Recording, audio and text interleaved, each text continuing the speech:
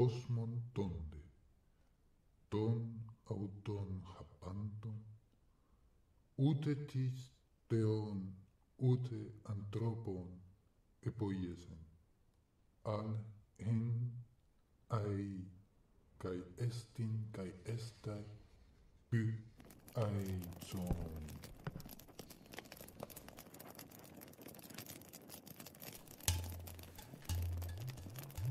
Recordó que de todas las criaturas que componen el orbe, el fuego era la única que sabía que su hijo era un fantasma.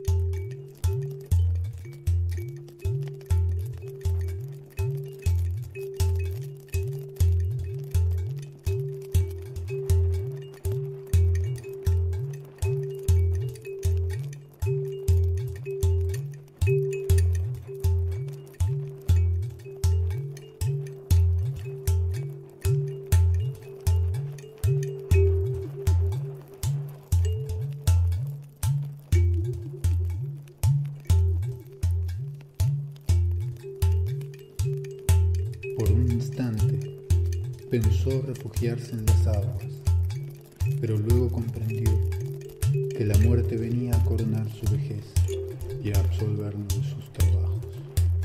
Caminó contra los jirones de fuego.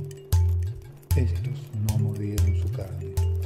Estos lo acariciaron y lo inundaron sin calor y sin combustión. Con alivio, con humillación, con terror, comprendió que él también era una apariencia, que otro estaba soñándolo.